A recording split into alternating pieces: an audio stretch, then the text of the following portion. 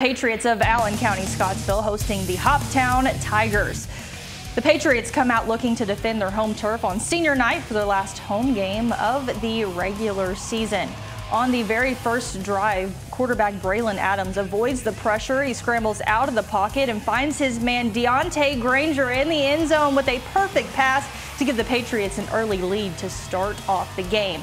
But with this game going back and forth, Patriots senior Jackson Morris receives the direct snap, jukes at Tigers defender, and he finds the hole and dives into the end zone for an ACS touchdown. The Patriots regain the lead 13 to 8 with just a minute before the half. However, the Tigers' John Aiden King looks up the field to his receiver James Bradley, who somehow manages to corral the football and gets a touchdown with less than 30 seconds in the half, giving them a one point lead. But the Patriots find a way to get the win on senior night 36 to 34.